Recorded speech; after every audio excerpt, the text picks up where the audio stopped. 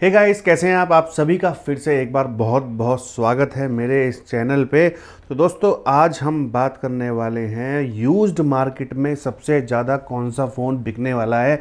आपको क्या लगता है? कमेंट में आप भी बहुत बताइएगा मुझे। आपके अकॉर्डिंग क्या लगता है आपको? आप सही, मैं सही बोल रहा हूँ गलत बोल रहा हूँ? आईफोन 13 बिकता है यूज़ मार्केट में आईफोन 12 बिकता है 11 बिकता है एक्स बिकता है 8 बिकता है। आपको क्या लगता है? आप प्लीज़ कमेंट करके ज़रूर बताइएगा। और आज हम बात करने वाले हैं भैया यूज्ड मार्केट का सबसे डिमांडेड फ़ोन और वो क्यों? क्यों है? उसके बारे में थोड़ी सी चर्चा करेंगे। तो दोस्तों, सबसे पहले मैं रिक्वेस्ट करूँगा, अगर आप मेरे पर चैनल पहली बार आए हैं तो प्लीज़ मेरे चैनल को सब्सक्राइब कर लीजिएगा लाइक कर दीजिएगा अगर वीडियो अच्छा लगे तो। और भी इस तरह कंटेंट आपको मिलते रहेंगे फ्यूचर में। तो चलिए बात करते हैं दोस्तों। आईफोन के बारे में आईफोन यूज़ मार्केट में सबसे ज़्यादा इसलिए बिकते हैं क्योंकि डेफिनेटली हर किसी का बजट तो होता नहीं है सत्तर हज़ार, अस्सी हज़ार, नब्बे हज़ार, लाख रुपए खर्च करने का। और आईफोन इतने रिलायबल हैं, इतने ड्यूरेबल हैं कि यूज़ मार्केट में भी उनकी काफ़ी डिमांड बनी रहती है। यूज़ मार्केट में डिमांड उनकी क्यों बनी रहती है? क्योंकि वो उनके जो ड्यूरेबिलिटी है, पाँच पाँच छः छः साल उनका अपडेट आते हैं कंपनी की तरफ़ से, काफ़ी अपडेट आ जाते हैं।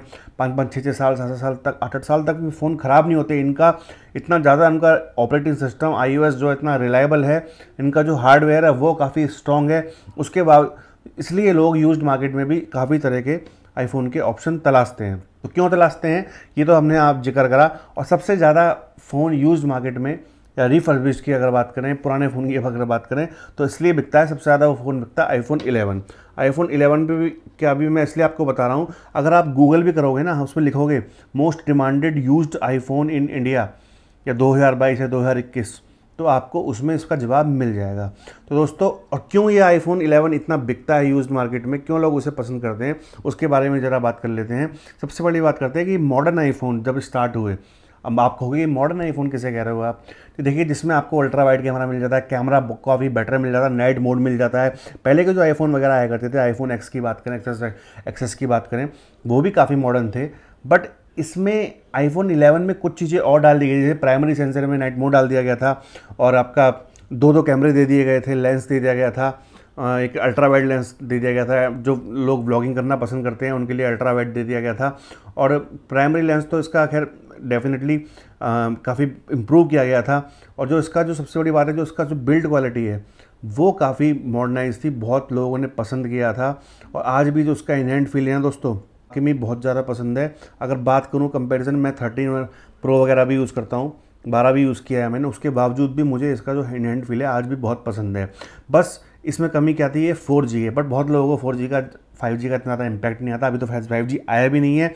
बहुत लोगों के घर पे वाईफाई वगैरह लगे हुए हैं तो इतना ज़्यादा फ़र्क नहीं पड़ता। आजकल मैक्सिमम घरों में वाईफाई की सुविधा हो गई है तो उन्हें फ़र्क, ज़रा फ़र्क भी नहीं पड़ता। तो आज भी लोग इसको इसलिए तलाश रहे हैं और सिक्सटी हर्ट की डिस्प्ले मिलती है डेफिनेटली वो तेरह में ही मिलती है, बारह में मिलती है। जो तेरह, अभी सत्तर हज़ार पैंसठ हज़ार रुपये का आ रहा है, उसमें भी सिक्सटी हर्ट की मिलती है, यहाँ पर भी वही मिलती है। इसकी जो ब्राइटनेस है ब्राइटनेस जो स्क्रीन है एल पैनल होने के बावजूद भी काफ़ी ब्राइट है, काफ़ी अच्छी परफॉर्म करती है जो उसकी स्क्रीन है। एलसीडी पैनल होने के बावजूद भी मैं कहूँगा कहीं कहीं तो ये बारह तेरह से मुझे पर्सनली बेटर लगती है।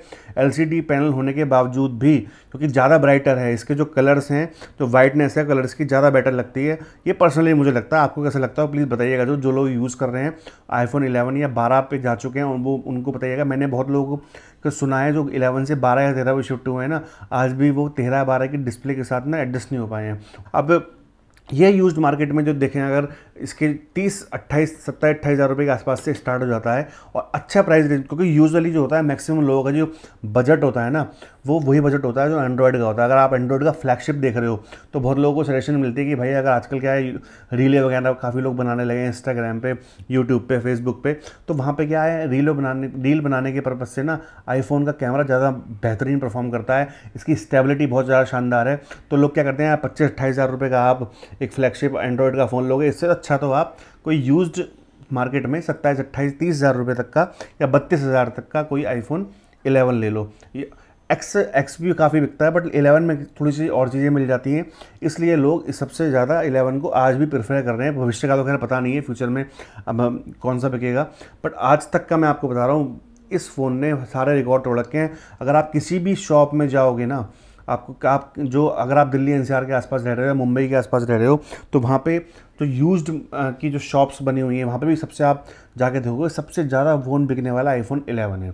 तो ये दोस्तों, मैं आपको ये बता रहा हूँ, अगर आप भी अगर यूज़ फ़ोन में देख रहे हो और आपका बजट तीस के आसपास है, ये तो आप वाकई में इस फ़ोन को बेझिझक अच्छे से आप ले सकते हो। हालाँकि वो यूज्ड फ़ोन को चेक करने के क्या पैरामीटर है, वो एक मेरी वीडियो डली हुई है, आप जाके देख सकते हो। बट ये फ़ोन आज भी बहुत रिलायबल है, बहुत काफ़ी अच्छा परफॉर्म करता है कैमरा काफ़ी शानदार है फ़ोटो एकदम मस्त खींचता है व्लॉगिंग व्लॉगिंग के लिए बहुत बढ़िया है। इसका साइज़ बड़ा कंफर्टेबल है, बहुत बढ़िया साइज़ है इसका।